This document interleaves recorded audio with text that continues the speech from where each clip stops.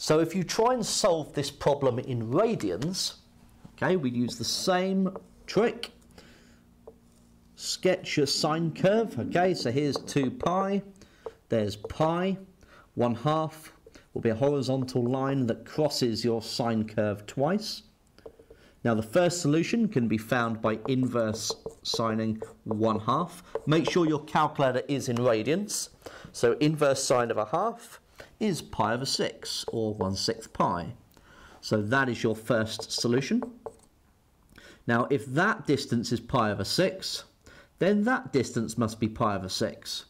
So you can find the second solution by subtracting pi over 6 from pi, which is 5 pi over 6.